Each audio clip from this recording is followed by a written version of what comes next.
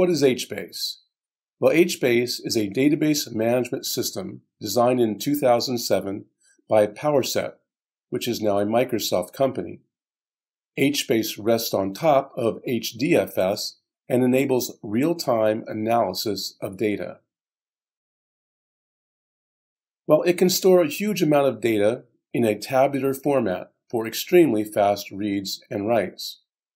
HBase is mostly used in a scenario that requires regular and consistent inserting and overwriting of data, even in an HDFS environment.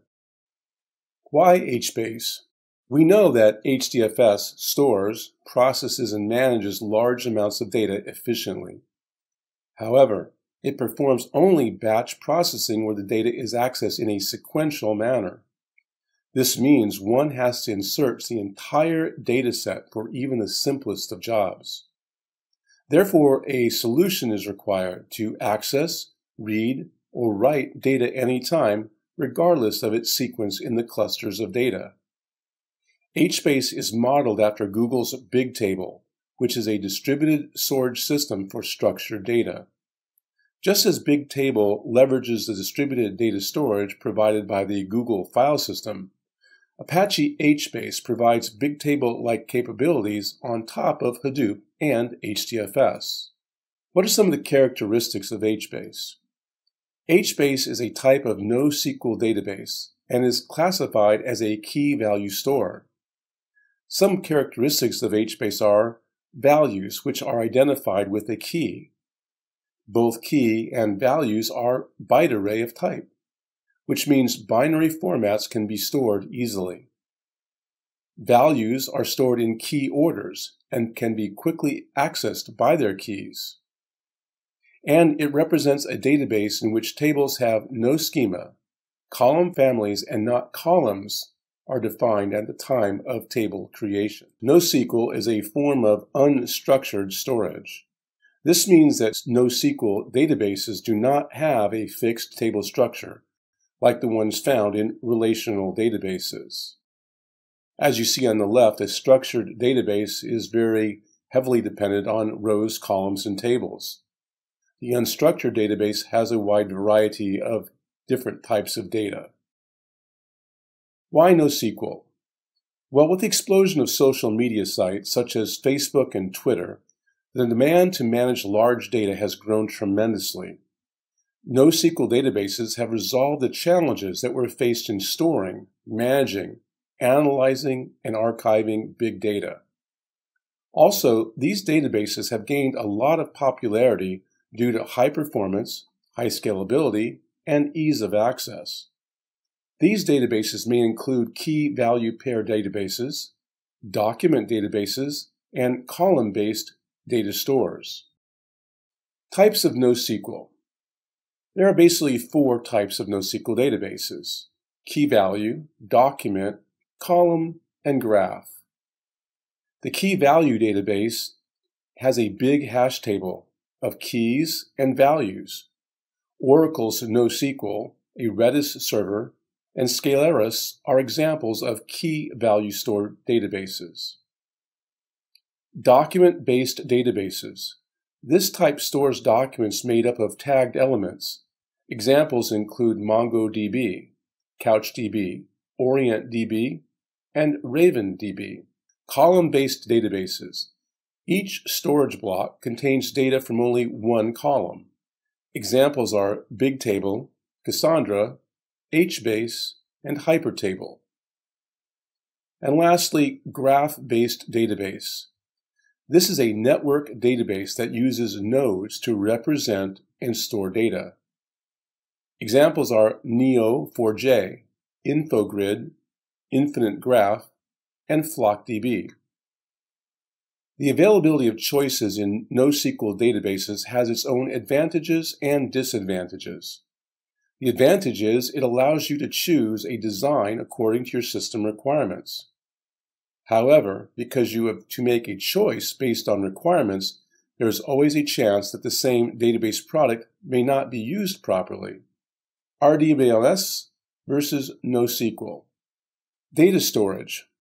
For data storage in an RDBMS, data is stored in a relational model in tabular format with numerous rows and columns. NoSQL comprises a host of different databases with different data storage models. For schemas, each record in an RDBMS follows a fixed schema. The columns are defined and locked before data entry. On the other hand, schemas in NoSQL are dynamic. You can add new columns at any time. Performance. Relational databases are not optimized for high performance in applications where massive data is stored and processed frequently. NoSQL databases perform much better in scenarios with large amounts of data. And scalability. RDBMS supports vertical scaling.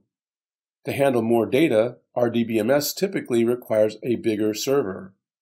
However, this will increase the cost and is much more difficult to do than horizontal scaling that is supported by NoSQL.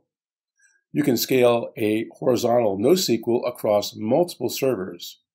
Multiple servers are cheap commodity hardware or cloud instances that make scaling cost effective horizontally much more efficient compared to vertical scaling.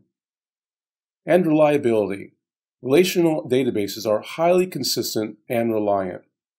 Most NoSQL databases do not support reliability features, such as atomicity, consistency, isolation, and durability, which are natively supported by a relational database. HBase Real Life Connect. Facebook's Messenger platform needs to store over 135 trillion messages a month. Where do they store such data?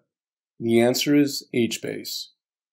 Facebook chose HBase because it needed a system that could handle two types of data patterns. One, an ever growing data set that is rarely accessed, and an ever growing data set that is highly volatile. You read what's in your inbox, and then you rarely look at it again. HBase architecture. HBase has two types of nodes, master and region server. There is only one master node running at a time, whereas there can be one or more region servers. The high availability of the master node is maintained by Zookeeper, a service for distributed systems. The master node manages cluster operations such as assignment, load balancing, and splitting. It is not a part of the read or write path of data. The region server It has one or more region servers running at a time. hosts tables, performs reads and writes of data. Clients communicate with the region server in order to read and write their data. A region in HBase is a subset of a table's rows. The master node detects the status of region servers and assigns regions to it. HBase components. The image represents the HBase components, which include HBase master and at the bottom, multiple region servers. The HBase master is responsible for the management of the schema, which is stored in HDFS. Region servers act like availability servers that enable the maintenance of a part of the complete data stored in HDFS based on the requirements of the user. The region servers perform this task by using the H file and the write ahead log or WAL service. The region servers always stay in sync with the HBase master. It is the zookeeper that makes the region servers perform a stable sync with the HBase master. Storage model of HBase. The two major components of the storage model are partitioning and persistence and data availability. Partitioning is one part of the storage model, where a table is horizontally partitioned into regions. Each region is composed of a sequential range of keys and then managed by a region server. A region server may hold multiple regions. Persistence and data availability. Are also important components of the storage model. HBase stores its data in HDFS, does not replicate region servers, and relies on HDFS replication for data availability. The region data is first cached in memory. Updates and reads are then served from the in-memory cache, which is called the memstore. Periodically, the in-memory cache, or memstore, is flushed back to HDFS. The WAL stored in HDFS is used for the durability of the updates. Row distribution of data between region servers. The image describes the distribution of rows in a structured database using HBase. It shows how the data is sliced and then maintained in individual region servers, depending on the requirement of the user. This type of distribution ensures availability of data for a specific user. As you can see with the data A1 through Z55, some data is split based on the index value. For example, null to A3 is in the first region server. A3 to F34 is then stored in the second region server, and so on. Data storage in HBase.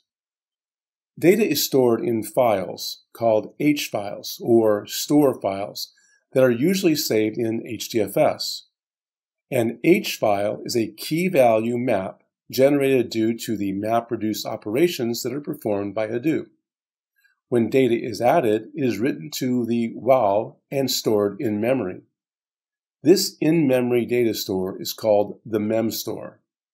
H files are immutable since HDFS does not support updates to an existing file. To control the number of H files and keep the cluster well balanced, HBase periodically performs data compactions across the HDFS cluster. The data model. The features of the data model in HBase are as follows. In HBase, all tables are sorted by row keys. At the time of table creation, you need to define its column families only. Each family may consist of any number of columns, and each column consists of any number of versions. Columns exist only when inserted. However, nulls are free. Columns within a family are sorted and stored together. Everything except table names is stored as a byte array a row key, a column family with columns, and a timestamp with version will identify a specific row value. The example shows two column families, see column family 1 and column family 2. As you can see, there's no restriction to adding additional columns to column family 1. When you get to column family 2, you will have the same ability to continuously expand as many columns as you like. Data mode features. The data model has many other features. First identifier of the data model is a row key. Column families are associated with column qualifiers. Each row has a timestamp and an associated value. In the example, you can see that each qualifier supports both a timestamp and a value. This allows versioning of your data within the database. When should I use HBase? HBase is used when you have enough data in millions or even billions of rows. It can be used when you have sufficient commodity hardware with at least five nodes. And developers can use HBase for random selects and range scans by key. They can also utilize HBase when you have a variable schema. HBase versus RDBMS. HBase provides advantages in comparison to the relational database management system. HBase allows automatic partitioning as compared to manually partitioned RDBMSs. HBase can scale linearly and automatically with new nodes. However, RDBMS primarily scales vertically by adding more hardware resources.